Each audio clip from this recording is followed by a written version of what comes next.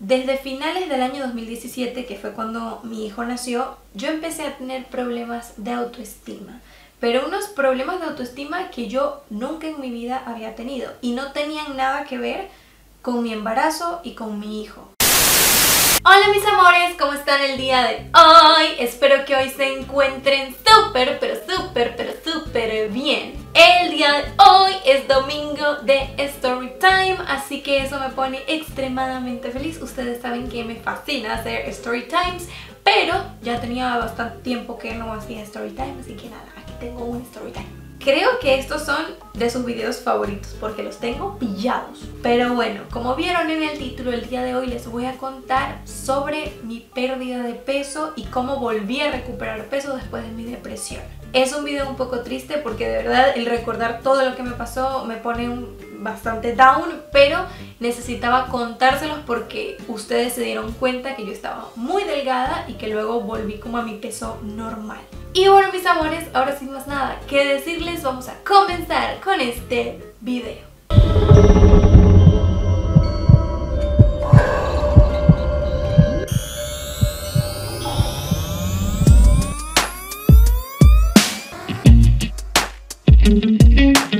Como muchos saben, y bueno, para los que son nuevos en mi canal, yo el año pasado, en el 2019, la pasé extremadamente mal porque fue como que el año en donde toqué fondo en cuanto a mi depresión. Mi depresión yo la escondí y la mantuve callada durante muchísimo tiempo. Yo sabía que estaba deprimida. Yo estudié medicina y de verdad yo sabía que estaba deprimida. La cuestión es que para no preocupar a mi familia y para no querer dar lástima, me callé y no dije nada de lo que yo sentía. Desde finales del año 2017, que fue cuando mi hijo nació, yo empecé a tener problemas de autoestima. Pero unos problemas de autoestima que yo nunca en mi vida había tenido. Y no tenían nada que ver con mi embarazo y con mi hijo. Eso no tenía nada que ver. O sea, mis problemas de autoestima no tenían nada que ver con que yo hubiese estado embarazada y luego hubiese tenido un bebé porque yo quedé exactamente igual. O sea, Estefano salió y mi abdomen quedó exactamente igual, no tuve estrías, nada. Pero mi problema de autoestima se debía a otra cosa que por ahora no creo que les quiera contar. Antes de quedar embarazada yo pesaba 56 kilos y estaba bien, o sea, yo me sentía bien, espectacular. A mí me gustaba como me veía en el espejo. Durante mi embarazo yo subí solamente 10 kilos, pero no se me notaban, o sea, se me notaban en los cachetes, pero en mi cuerpo no se notaba mucho. Por lo tanto, en el embarazo yo pesaba 66 kilos. Cuando tuve a Estefano, yo pasé de 66 a 56, o sea, en una semana yo rebajé muchísimo. Un mes después de yo haber tenido a comenzó mi problema de autoestima. La pasé realmente mal, o sea, yo me miraba en el espejo y decía, no me gusto, mm, había algo que no me cuadraba. En ese momento estaba teniendo demasiados problemas con mi pareja por algo que sucedió y de verdad, yo me miraba al espejo y no me gustaba para nada, o sea, para nada. Siguió pasando el tiempo, yo decidí retomar YouTube porque por la mudanza y por haber tenido Estefano, yo había dejado de subir videos como por dos meses o así y en enero volví con los videos. En enero del año 2018. Yo recuerdo que yo estaba como en un estira y encoge con YouTube porque me sentía muy triste, deprimida, pero a la vez quería ser productiva. Por las mañanas quería levantarme a grabar, a editar, pero mi cuerpo decía una cosa y mi mente otra. Yo estuve así durante un año, o sea, me sentía fatal emocionalmente, quería hacer cosas pero al final no las hacía, estaba cero productiva, me pasaba la mayor parte del tiempo durmiendo, luego empecé a meterle demasiadas ganas a YouTube, pero me daban downs, dejaba de subir videos una semana, o sea, fue horrible. La cuestión es que yo estaba un poco negada a buscar ayuda, no quería como que preocupar a mi familia y tampoco quería dar lástima. A mediados del año 2018 yo conocí a mi mejor amigo Samuel. Creo que las redes sociales me han dado la oportunidad de conocer personas maravillosas, incluyéndolo a él. Nos conocimos por Facebook, empezamos a hablar y nos convertimos literalmente en mejores amigos. Hoy en día nos contamos absolutamente todo y eso que él y yo no nos conocemos en persona, pero somos mejores amigos. Creo que no hay absolutamente nada que Samuel no sepa de mí y que yo no sepa de él. O sea, nos contamos absolutamente todo. Más o menos a finales del 2018 yo le empecé a contar a Samuel que estaba perdiendo muchísimo peso, que no me sentía a gusto conmigo misma y que aparte me estaba sintiendo triste por cosas que no tenían ni siquiera sentido o simplemente me sentía triste por nada y que quería pasar todo el día durmiendo para despejar la mente.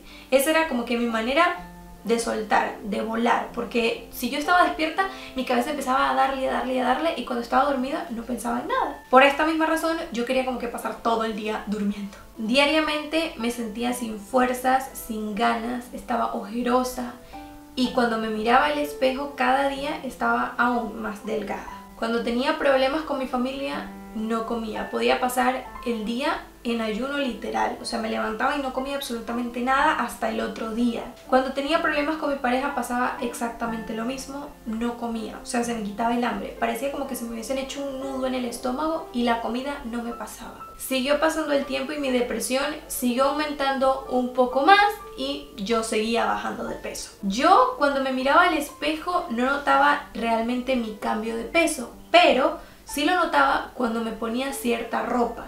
Habían jeans que antes de salir embarazada y estando embarazada me quedaban, pero a finales del 2018 es que me quedaban volando. Yo había pasado de ser una talla 36 en jeans a ser 30. Empecé a notar que estaba bajando demasiado de peso cuando vi que yo ya no tenía cachete. Yo soy una persona, como pueden ver, bastante cachetona, pero cuando bajé de peso es que mis cachetes habían desaparecido, ya no tenía pompis, mis brazos estaban extremadamente delgados, mm, yo, mis pechos literalmente ya no tenía senos porque se habían chupado por completo, o sea, era horrible, horrible, horrible, horrible. Los huesos de aquí se me notaban un montón, mis piernas eran extremadamente delgadas, toda la ropa me quedaba súper grande.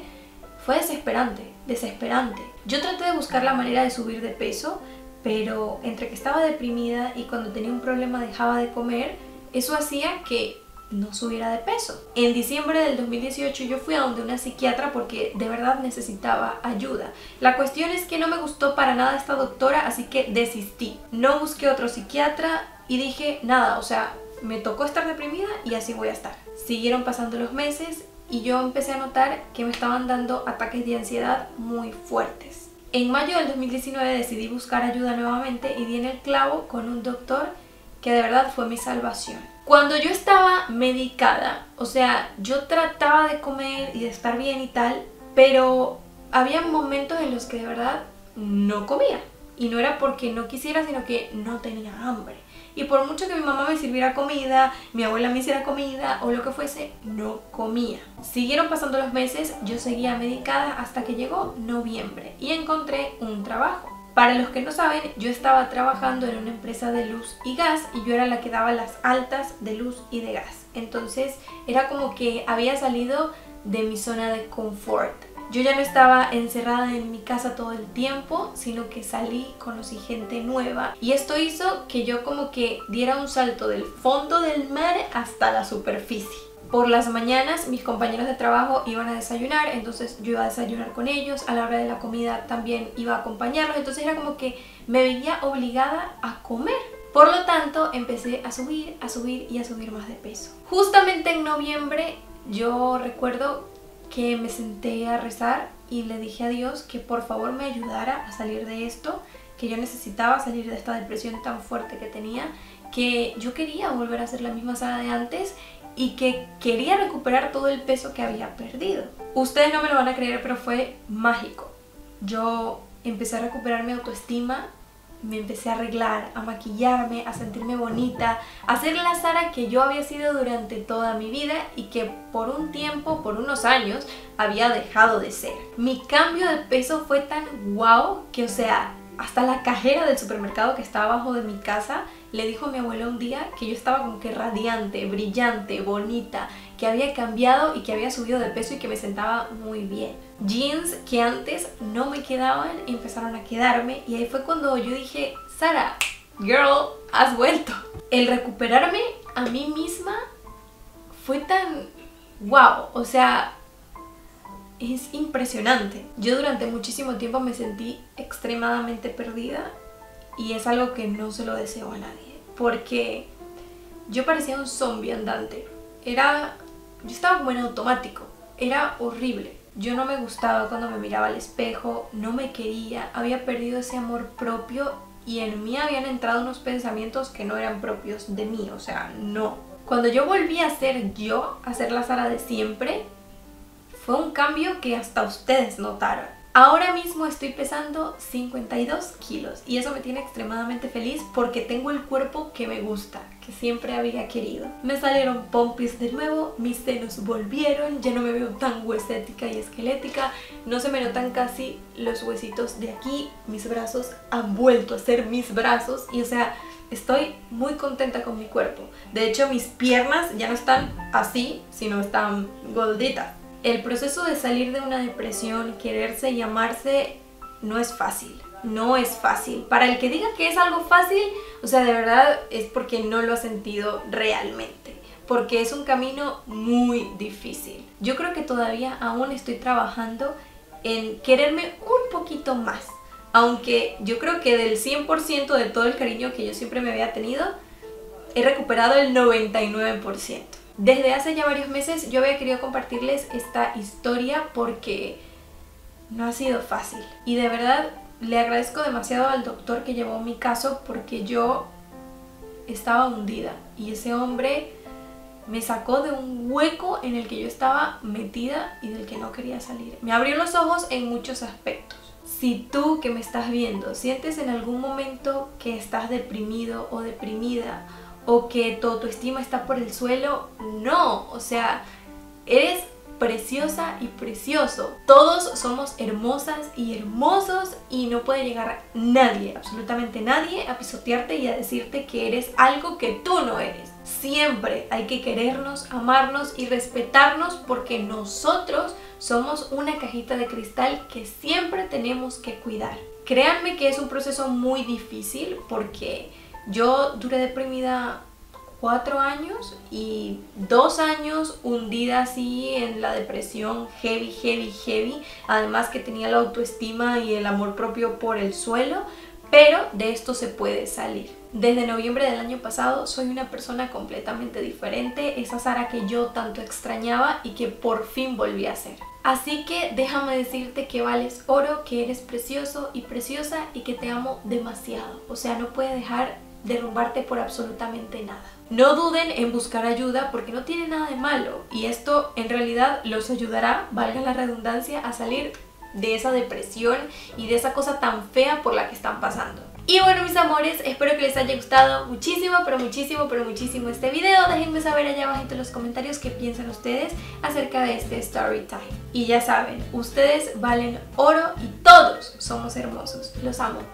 No olviden darle like a este video, suscribirte aquí abajo en el botón rojo y activar la campanita de notificaciones para que YouTube te notifique a ti cuando yo suba un nuevo video. Y comentarme cositas hermosas como ustedes siempre lo hacen. Tampoco olviden que les dejé mis redes sociales durante todo este video para que vayan y me den amor durante toda, toda, toda, toda, toda la semana. También les voy a dejar aquí en pantalla el correo electrónico al que me pueden escribir y enviarme sus experiencias paranormales y yo las estaré contando los días lunes en la sección de experiencias paranormales de mis suscriptores. Tampoco olviden que estoy dando clases de automaquillaje, así que si se quieren aprender a maquillar como yo, así súper cool, súper chévere, abajito en la cajita de información les dejo el link de mi página web donde solamente tienen que darle a comprar, seguir los pasos y van a tener una clase de, de automaquillaje conmigo. Está demasiado cool porque tengo tres clases disponibles y, o sea, está cool, cool, cool, cool. Y bueno, mis amores, les mando muchísimos besos intergalácticos y de caramelo. Y ya saben que nos vemos en un próximo video. Bye.